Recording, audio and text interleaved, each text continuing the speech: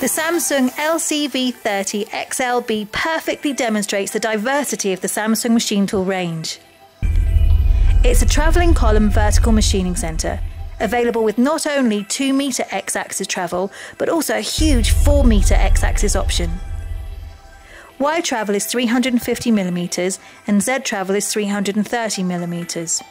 The table's fixed, so machining a heavy long component between centres is very stable. The machine's very fast for its size, with a BT30 spindle, 10,000 RPM, and XYZ rapids at 26, 48, and 48 metres a minute. So, with the X and the Y axes all moving from the travelling column, you can generate plenty of speed to very quickly remove metal. It has a 16 position high speed twin arm tool changer with tool to tool change time of 0.7 seconds.